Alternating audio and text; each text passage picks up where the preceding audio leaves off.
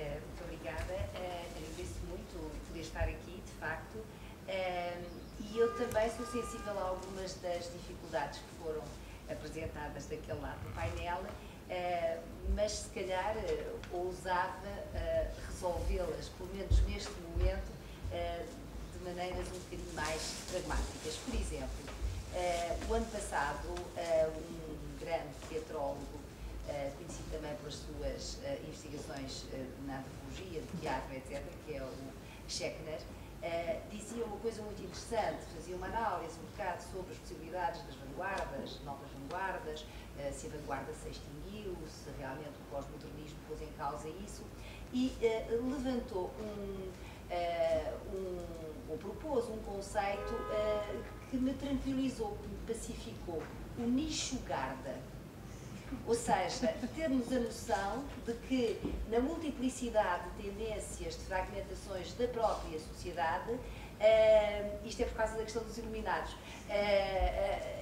encontrar um grupo maior ou menor que de algum modo tenha uma cumplicidade e possa ter um olhar conjunto ou possa ter uma sensibilidade relativamente a um aspecto artístico, tem toda a legitimidade de existir. Mas também é verdade, e agora falando a propósito da Cláudia, eh, que quando Roseberg ou outros falam sobre a performance, eles estão a falar a partir das coisas que efetivamente existiram. E, portanto, estou plenamente de acordo uh, com, uh, com o que foi dito relativamente à circunstância que definir a perfins neste momento tem que ser encontrar no trabalho definido e realizado pela Carnarte aquilo que nos parece ser o lugar exato do seu eh, relacionamento com as restantes artes. E é nesse sentido que muitas das coisas que eu vou dizer são aquelas que me parecem habitar dentro do conceito, mas habitam-no porque efetivamente são concretizados, realizados nos espetáculos. E só fariam, eh, eh, antes de mais nada, uma pequena referência a esta questão relativamente ao trabalho da Olga Ruiz ou do Luís Castro, quando a Portugalidades ou os espetáculos em que se parte de uma residência artística.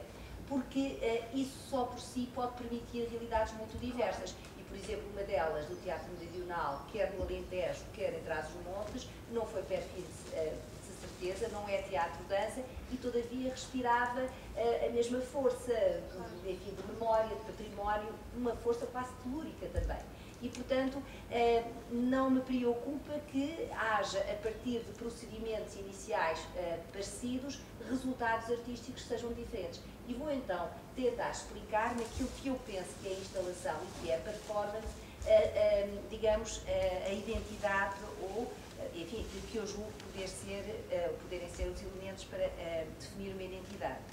Eu penso que um dos aspectos importantes da BFINS é a circunstância de ser um projeto e como projeto é um percurso que se vai encontrando, que se vai desenvolvendo, ehm, que vai, como dizia o Francisco Rebelo, que vai, eh, digamos, acumulando experiências e entrosando umas nas outras.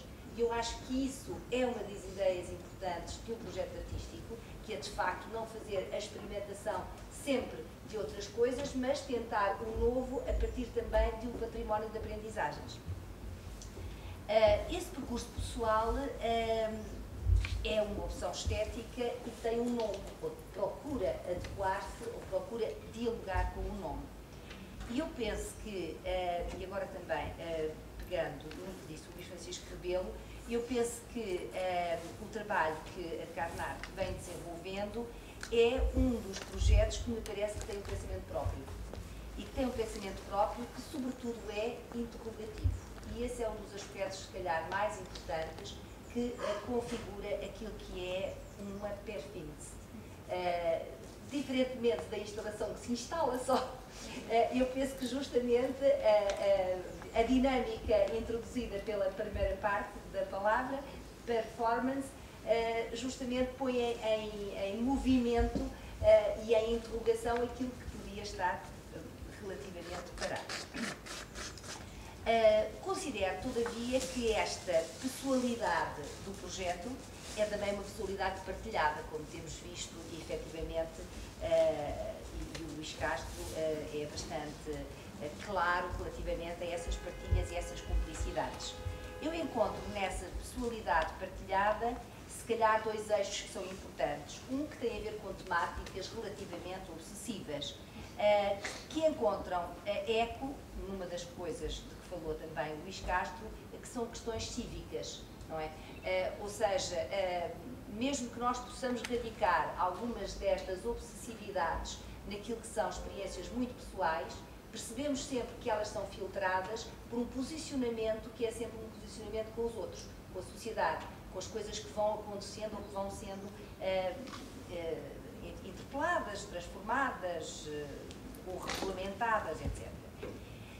Depois, um outro aspecto que me parece que tem a ver com a performance e com a instalação, com esta ideia de perfins, é a exposição de si próprio. Porque eu penso que um dos aspectos mais importantes deste trabalho é uma exposição não com o sentido da arrogância de se mostrar, não com o sentido de impor, eh, digamos, aquilo que é o seu gosto, a sua presença, os seus objetos, não é também uma presença condescendente, satisfeita consigo próprio. Vejo sempre nessa exposição de si, própria, de si próprio uma questionação que é colocada também a si próprio e não só ao mundo, e que não está desafetada de ironia. Uh, eu penso que esse é um, um aspecto importante, sendo uma presença afetiva forte, é sempre uma posição que permite o distanciamento justamente por esta localização tão paralela da performance e da, uh, e da instalação, que permite questionar-se, interrogar-se. Nunca nos aparece, pelo menos a mim nunca me apareceu, uma imagem como sendo esta é a verdadeira, esta é a resposta para o problema. E, todavia, são imagens relativamente obsessivas também para nós. É difícil, relativamente a determinados quadros, esquecermos a força dessa imagem mas curiosamente não por ser impositiva, mas pelo contrário, porque incomoda, porque nos faz perguntar, porque se percebe que há um sofrimento, que há um problema qualquer que está também a ser colocado. Considero que nessa exposição de si próprio, a exposição é na relação com problemas, pensamentos, uh, questões, mas também com objetos. Este é um outro aspecto que me parece importante, que é a devolução do corpo numa relação que não é apenas um corpo, o meu corpo, mas é sempre uma relação de relações.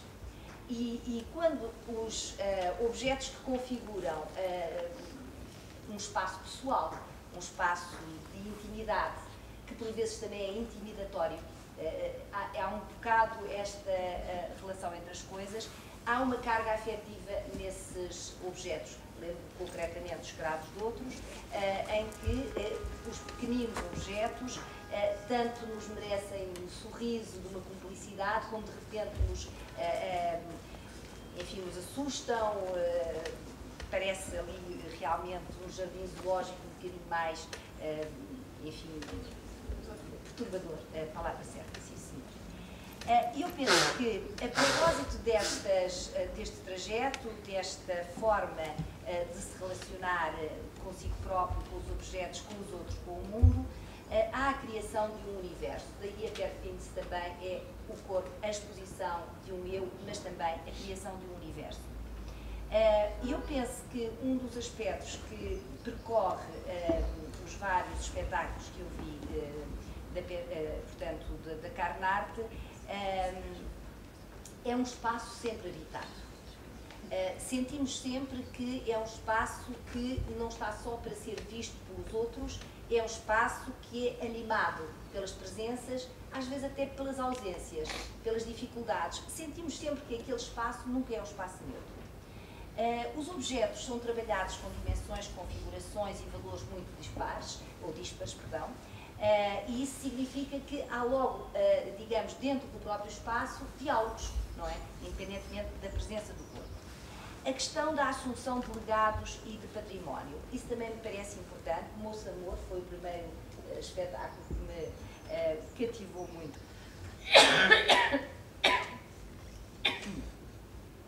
e que tem a ver com memórias pessoais. E memórias que são pensadas, que são mostradas, mas são memórias do corpo, mas memórias também cúmplices com realidades sociais, uh, antropológicas e artísticas. Portanto, há sempre uma dimensão do eu com os outros. Os afetos são cartografados no corpo, mas também no mundo. Uh, e, portanto, algumas daquelas imagens têm a ver com o trajeto pessoal, mas têm a ver também com muitas coisas que nós vivemos. E, portanto, também nos reconhecemos, não é tão idiosincrático que nós estejamos fora dele. Uh, e eu penso que todo este processo da criação destes universos cria também vínculos. Memórias literárias que são apropriadas, como aqui também já se falou, que era o, o, um, o escritor, que era o historiador, também dramaturgo, e eu penso que apropriar-se apropriar de memórias acho que é melhor elogio também que se pode fazer aos textos, a sua virtualidade, a sua capacidade de uh, terem outras vozes uh, que os digam, uh, a criação de objetos fetiche e a criação também do público criativo. Eu penso que também uh, estes espetáculos, como alguma literatura, como algumas artes plásticas, etc., designam o seu próprio público. E eu penso que é. é e, e, nesse aspecto, como também dizia Luís Francisco, faz sentido que um projeto como este possa ter viabilidade e não se conformar, digamos, com aquilo que é um formato mais ou menos partilhado por todos os outros. Eh, eu gostava que, eh, também por último, de referir que a recondução desta prática eh, ao diálogo com os anos 70, que animou a performance, embora, enfim, já desde os anos 20 os modernismos e os dadaísmos já apontavam para aí, mas de facto foi modalizando esta prática para uma zona de uma maior pessoalidade. Uh, e dá a solução, porventura, mais confessional daquilo que eu chamaria uma posição de guerra roubei um bocadinho ao Almada de Greiro o seu nome de guerra, mas eu gostava de ligar a este projeto também esta posição de guerra, eh, porque é também uma forma de se relacionar com os outros, que os assume como antagonistas, mas também não deixa de dialogar e de guerrear com ela, com essa, com essa entourage. Uh, também a Olga falou de uma coisa que a mim também uh, me, me interessa, que é de facto uma curiosa convergência no rosto uh, de quem, enfim, se liga mais iconicamente a este projeto e que é simultaneamente um rosto de espanto e de alegria de reencontro. Há, há de facto aqui uma mistura uh, curiosa na própria definição do rosto. E queria também dizer que penso em Escravo Todos, mas penso também no Pompis, penso em tudo o resto, uh, que é um universo que junta o lúdico ao pesadelo. Uh, e isso é curioso porque quase parece que não poderiam coabitar, uh, e no entanto é isso que acontece. Uh, digamos que poderia ser um surrealismo colorido com uma derisão de um pós-modernismo. e todavia considero que é ativo, que é figurativo e que é reivindicativo e que estimula o diálogo.